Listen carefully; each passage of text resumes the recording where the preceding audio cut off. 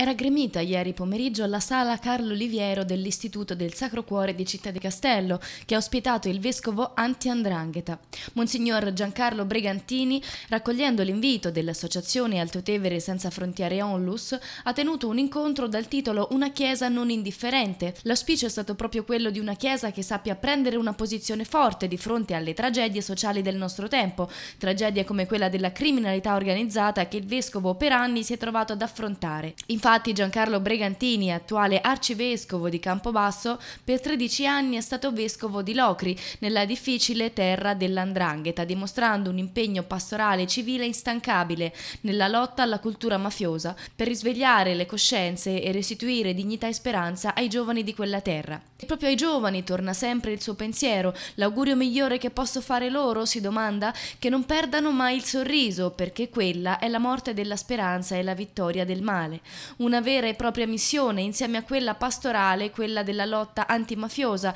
che ha sempre combattuto su due fronti, il piano etico e il piano estetico. La miglior forma di antimafia è il gusto del bello, afferma Monsignore, ricordando come la bellezza, sia dell'operato umano che della natura, ci riconduca sempre all'amore di Dio. La conferenza si inserisce nel ciclo Contatti, incontri, confronti e proposte, che proseguirà nei prossimi mesi per creare momenti di riflessione e dibattito insieme a persone che, come Monsignor Bregantini, hanno speso la propria vita impegnandosi concretamente nella società e al servizio degli altri.